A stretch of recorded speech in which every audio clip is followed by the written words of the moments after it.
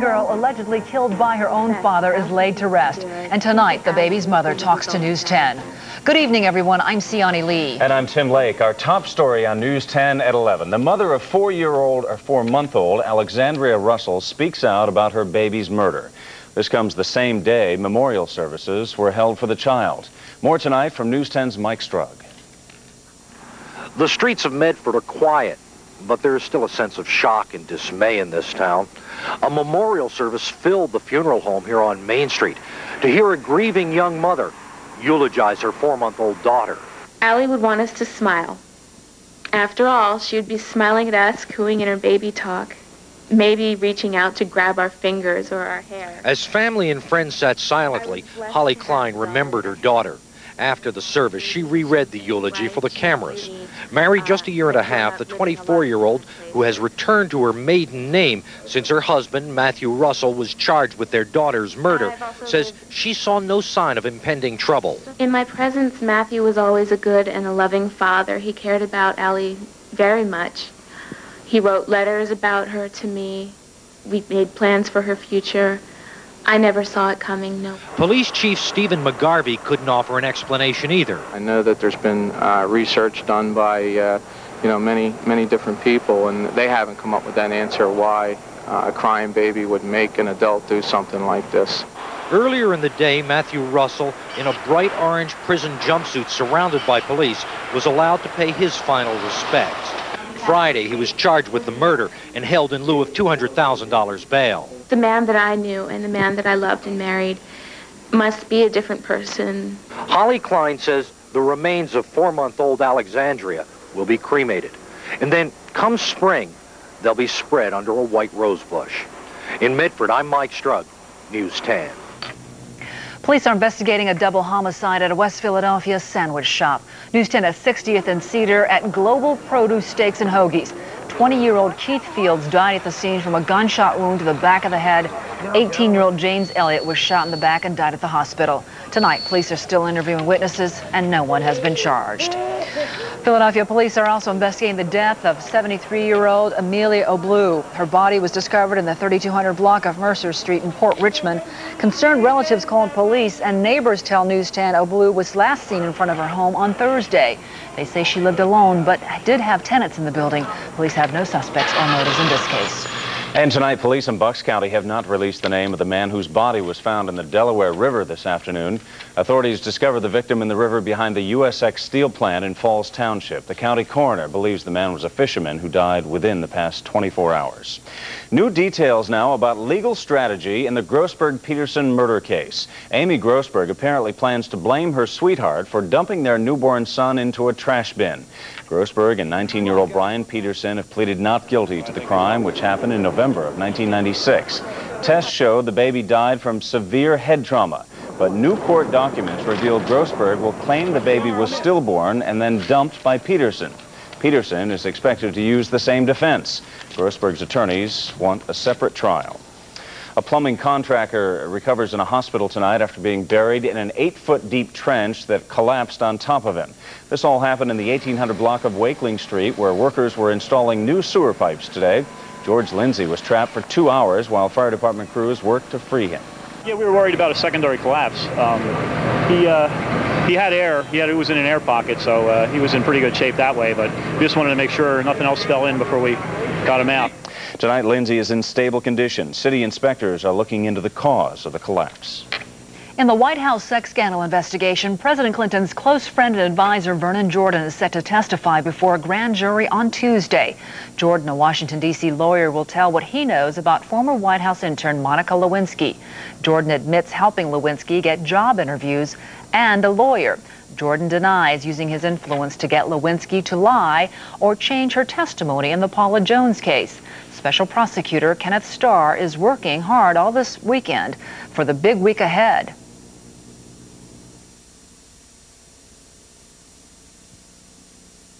We're moving forward very quickly on the substance of this investigation. Still no word tonight on when and if Lewinsky, the central figure in this investigation, will take the stand. Lewinsky allegedly told a close friend she and the president had a sexual relationship. The president denies it. Meanwhile, the president is in Los Angeles tonight meeting with victims of California's El Nino storms. He told them Americans are praying for tranquil weather so the rebuilding can begin. He also promised federal funds for victims. Mr. Clinton shortened his weekend ski vacation in Utah to visit the West Coast. And severe weather moves into Florida again just days after a series of deadly tornadoes. An eerie sky loomed over Deerfield Beach on the Atlantic coast near Boca Raton. Strong winds knocked down trees and damaged homes and kept rescue crews scrambling from one troubled spot to another. There was one unconfirmed tornado sighting. More threatening storms in central Florida as well, where they're still trying to recover from last week's string of twisters. Thunderstorms hit the disaster area hard again with heavy rain, lightning, hail, and high winds. The area is so saturated now, flash floods are a concern. And relatives and friends of an eight-month-old boy said their farewells today. One of last week's twisters ripped little Niles David Bork from his father's arms. Several other storm victims were buried today. 40 people are now known to have perished in last week's devastating string of tornadoes. A wayward plane is lost over the Atlantic Ocean. Electronics are broken. The pilot has no way to tell which way he's flying. Suddenly, two warplanes float up alongside him. Well, this all sounds like a movie, but it really happened early this morning off the Jersey shore. The twin-engine plane that was lost over the Atlantic Ocean is now safe in a hangar near Atlantic City. Electrical failure meant the pilot had no radio and no navigational electronics like compass and altimeter. He couldn't see land, uh, so he couldn't guide himself by uh, visual cues on the ground. So he was, again, 150 miles out over the ocean uh, with no possible way to determine where landfall was. To the rescue flew two F-16 jets like these from the New Jersey Air National Guard. They flew out over the ocean, found the wayward plane, and flashed their lights, a signal to follow them back to Atlantic City. The lost pilot was said to be real happy to be back, real happy to be alive. Well, the pilot of that wayward plane was flying from Rochester, New York to North Jersey. If not for those F-16s, he probably, they say, would have run out of gas and crashed into the ocean. Mm, lucky, lucky, guy. Yeah. Mm -hmm. Much more still ahead on News 10 tonight at 11. Princess Diana's bodyguard comes forward with new details about the accident that claimed her life. Also, a bizarre standoff comes to an end when a millionaire finally gives up his mansion. And remember Nancy and Tanya and Dan and Bonnie? News 10's Larry Mendte takes us back to Lillehammer to show us an Olympics to remember four years later. Glenn? I'm Glenn Schwartz in the Weather Center.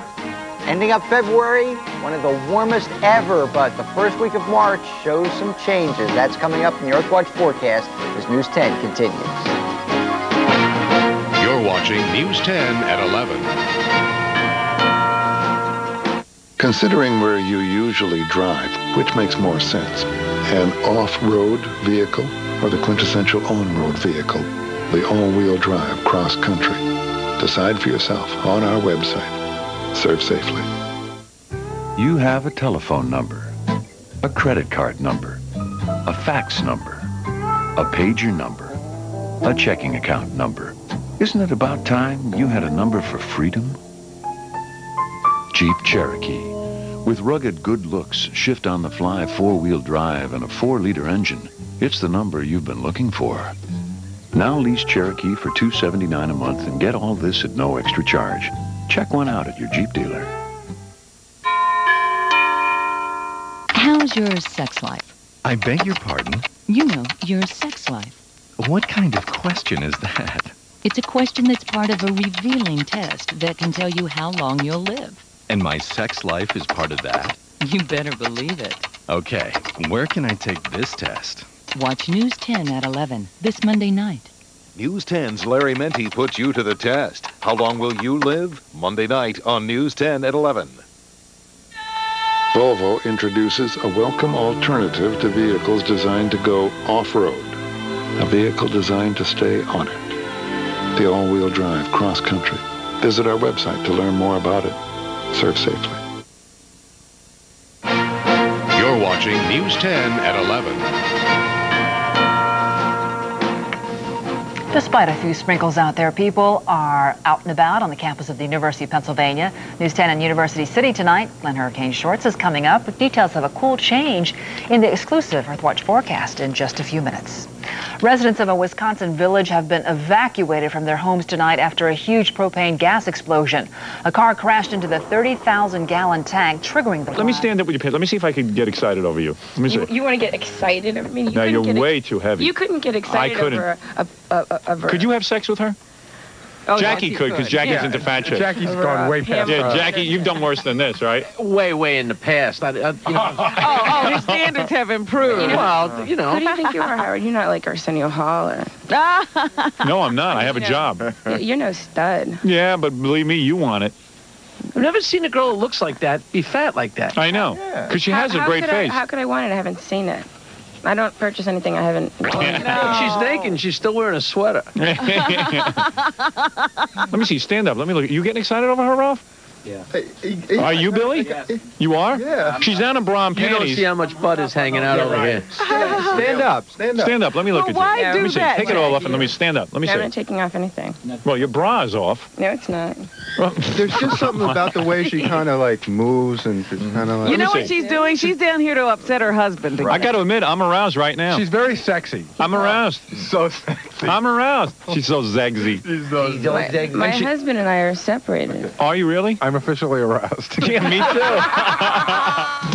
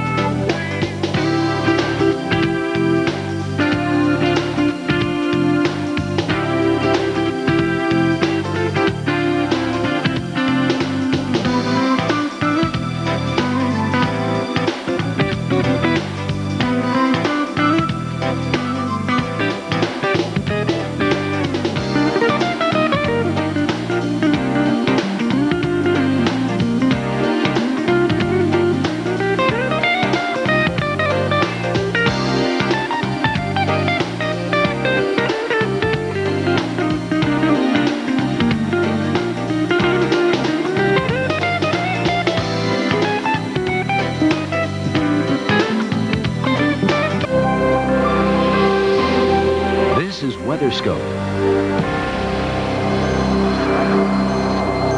We're still watching some nasty, nasty weather in Florida tonight after a very active day, to say the least. Good evening. I'm Paul Emick. And I'm Sharon Resultan. It is bitterly cold in the meantime into the northern plains. And if you live in the northeast, well, it looks like your Sunday is going to be a gray day too. We're going to have details on that in just a moment. But we'll first start with the thunderstorms in Florida. We'll show you some scenes from some damage earlier today in and around Deerfield Beach. These South Florida residents are assessing the damage from this afternoon's thunderstorms. High winds ripped through the Deerfield Beach area this afternoon, causing damage to trees and some homes in the area.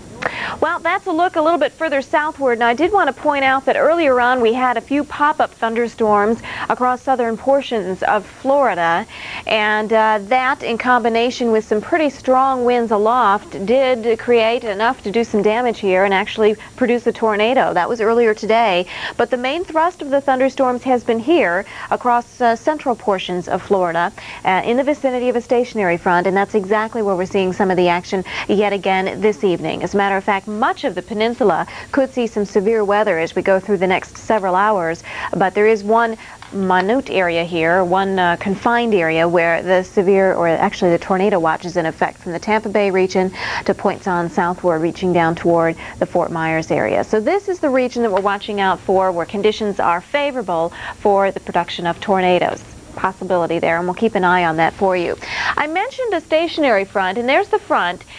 And the situation is such that we're seeing the thunderstorms developing along and just to the south of this front, and they continue to push off to the northeast at about 40 miles per hour.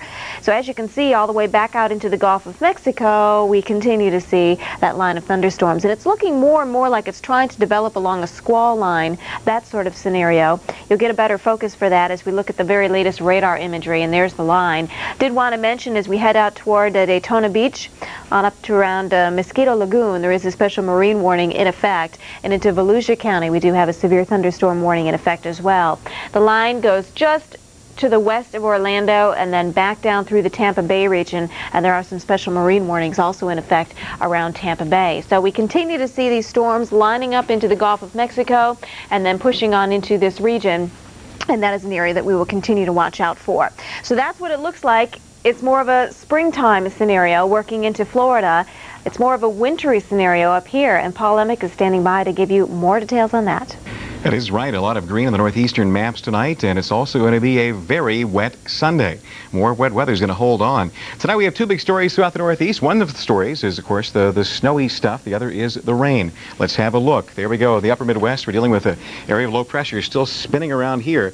As that thing continues its spin, we've got snow coming in there. Now, this low pressure is kind of on its own. It's not uh, seeing any kind of real support or any kind of kick from either the northern polar jet or the southern jet not really having a lot of effect on it. It's on its own, literally just sitting here and spinning. Now, the high pressure, because winds blow from high to low, is a big player in the windiness of all the blowing snow tonight. High pressure is going to kind of back up into Canada, literally kind of backing up. That will help to relax our winds a bit and eventually the system will kind of uh, lose some of its oomph. Still, though, we're dealing with snow tonight. A lot of places, including on Minneapolis, St. Paul, you bet. We've got that going on tonight. Also in Alexandria and Willmar. Throughout the Dakotas, too, in North Dakota, amazing. Bismarck, still, still snowy. Dickinson as well. Fargo, even Grand Forks. Minot, the Air Force Base, too, we've got snow. Throughout South Dakota, if you're driving 90 or wanting to, it's a, it's a mess as well. Aberdeen, Watertown, Sioux Falls, Huron Pierre, Rapid City, you name it, we've got the snow. Of course, some of the most amazing snows have been toward the Black Hills. We've got the elevation there working with it as far as trying to push the moisture up over a mountain. It cools and condenses with height, helps to squeeze out the snow and really enhance snowfall amounts. Cold air, too, teens for Bismarck, also for Minot. Wind chill even for Rapid City. Incredibly cold, minus 15. Not much of a wind chill on Rush Street in Chicago, if you're out there, but a little bit on the cool side there. Winds are really kicking here, though. We see, especially here into uh, on Rapid City, 45 mile an hour wind gusts, not out of the question at all. In the northeast, there's still another area of low pressure wrapping in some moisture here and more rain tonight, including around New York City. We've got rain too for Watertown, Buffalo, Niagara Falls.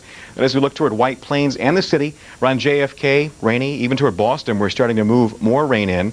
Hartford, Providence, you name it. It's uh, pretty much wet and sloppy tonight. Also in parts of PA, around Erie, we've got some of this and even some rain and some reports of thunderstorms popping up on toward Dayton, Ohio. On the west coast, well, the only thing to deal with here is still some showers back for the Pacific Northwest into Texas. Could see some freeze problems there. Here's a look at the country. We'll get to the forecast in a minute. Right now with El Nino Focus, here's Sharon. It is ocean and atmosphere working together that makes El Nino a force for climate change. Jim Cantore explains in tonight's El Nino Focus. In normal non-El Nino years, the surface of the Pacific Ocean along the coast of South America is cool, about 8 degrees cooler than the surface in the western Pacific. That's because of the trade winds. The prevailing trade winds in this part of the world are from east to west, and those winds push the ocean's surface along with them. That piles warm water up in the western Pacific. Sea level is about a foot and a half higher near Indonesia than at Ecuador. And because the surface water is moved west, the cold water from deeper levels rises toward the surface off South America, sometimes to within 50 meters. That's called upwelling, and it's responsible for the cold surface temperatures. But in an El Nino, the trade winds diminish, and in some cases actually reverse. Without the trade winds, upwelling diminishes. The cold water from the depths remain far below the surface, and the surface warms. So it is this relationship between the wind and the ocean that causes the changes we know as El Nino. I'm Jim Cantore, the Weather Channel. And just a friendly reminder that you can join us every night at this time for El Nino Focus. Now with your forecast, here's for the rest of the weekend. Here's Paul. Let's do it. Let's wrap up this weekend. Well, here's how it starts off. Not bad around the country as far as bitter cold air.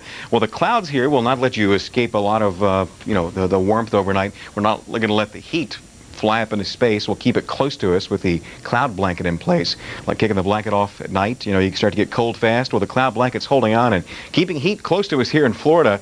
And uh, some cool air here, though, with a few clouds still around uh, Detroit, where it hasn't warmed up a lot today. Detroit and Southfield and the southwest temps aren't bad to start it up. Okay, northeast, here's part of our problem. One area of low pressure still cranking it up, giving us more rain around the city. If you want to get out around New Rochelle or had plans to go to the park, some showers. Okay, showers will be around. Same for Boston, same for Hartford. In Florida, getting better, not wetter. That's a good deal. Uh, maybe around Orlando, eventually we could see some wet weather kicking on. If you want to get around the amusement parks or anything around uh, International Boulevard. Tampa, St. Pete, looking better too. Still some snow in Minneapolis. This could be a part of our day, even into Chicago. We could see some snow, maybe a mix of rain and snow. Pacific Northwest, a few showers still popping up. We have to hold on, but eventually we'll bring more rain back towards San Francisco. Heaviest amounts of precipitation still probably central Florida with a lot of that uh, due to come down. And the warmth is around South Florida tomorrow. Not bad even toward Philly, but cooler air awaits. Mm-hmm. It certainly does for most everyone. Mm. Well, you are seeing a lot of rain in parts of the Northeast tonight. Get the latest travel conditions for the region and the whole country and travel-wise right after.